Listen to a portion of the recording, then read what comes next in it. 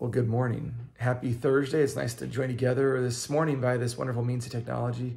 Uh, having a kind of a long week and a long day, but remembering also our uh, lectionary study yesterday. A lot of great uh, discussion regarding the lessons and some good insight, which brings up a little bit of thoughts for our Romans 10 reading, the epistle for this next week. So I want to share with you a little bit of that that uh, we have, and then I kind of have a, an adapted reflection from uh, Lutheran Ministries that's entitled The Do It Yourself Salvation. Now, from Romans 10, it says, But the righteousness based on faith says, The word is near you, in your mouth and in your heart. That is the word of faith that we proclaim. Because if you confess with your mouth that Jesus is Lord and believe in your heart that God raised him from the dead, you will be saved.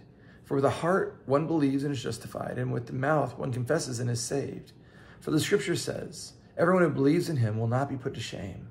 For everyone who calls the name of the Lord will be saved. Here ends the word of the Lord.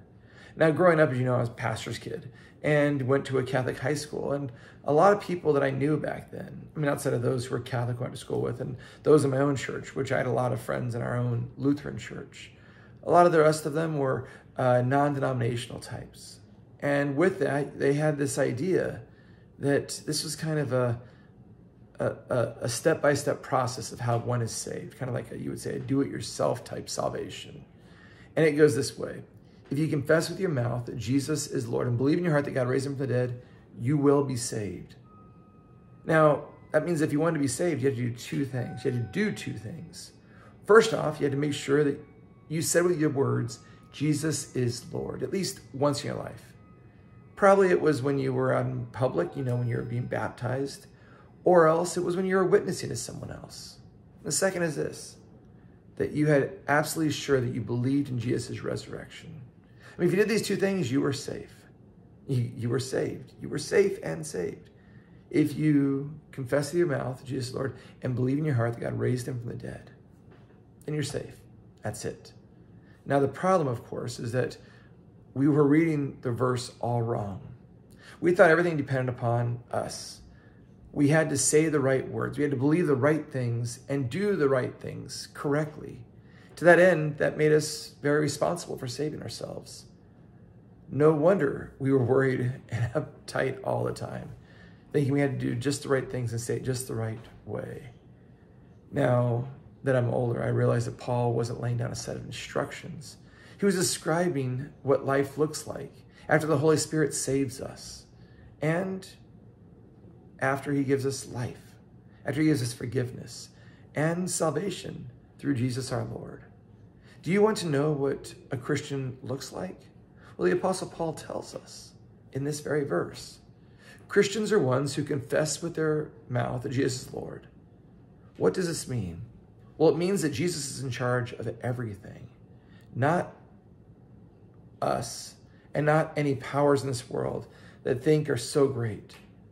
It means that Jesus is God, come down to earth, to live and suffer and die and rise for us, to make us his own. It means that Jesus is in charge of me and not me myself. He's in charge of my salvation so that I can stop worrying. just think about that. What it means to be a Christian is that I trust God wholly and completely for everything in my life, for my salvation, for everything. He's the one that accomplishes all of it. But here's the second part of that. What does it mean to believe in the resurrection? It means that we know Jesus is exactly who he said he is. He is God's son, sent to be our savior from the power of death, sin, and evil. You see, God would not raise a liar. It means that Jesus succeeded in what he came to do, and that death, death cannot keep him down. It means that death can't keep us down either since he has promised to share his victory with us and raise us from the dead too. See, all this it means that Christians have a joy and a hope that never leaves us. Even when we are deep in trouble or grief or frustration, our salvation comes from Jesus, not us. And so we can relax because everyone who believes on him will not be put to shame. So when you hear these words read this next weekend in our worship, don't think this is some kind of do yourself how you can save yourself. No, no, no. It's rather describing what a Christian looks like, what a Christian does. It's one who confesses that Jesus is Lord and who trusts in his resurrection. So everything we do and say is always pointing to the fact that he is in control. Control of us, control of our lives, control of our salvation, control of all. That he is God over all and God above all. So as you go out throughout your day this day, know that God is with you and that all that Jesus says is true. That he came to suffer and die for you. That he came to save you. And that you have a joy in knowing that no matter what you face in this day, in this life, nothing will be able to separate you from his love. That's a promise you can rest assured on. Because Jesus is not a liar. God would not raise someone like that. No, Jesus is the very Son. He's your Messiah. He's your Savior. And so we live joyfully, confessing, believing, knowing that because of Jesus, we are saved. Let's close our time with a word of prayer. Lord, thank you. Thank you for being our Savior. Not us and what we think we can do or say or feel or think, but rather your gift to us. So, Lord, help us then to just relax, to relax and simply just trust you. Trust you with everything. Bless us today and every day. Amen. Well, thanks for joining me on this uh, morning.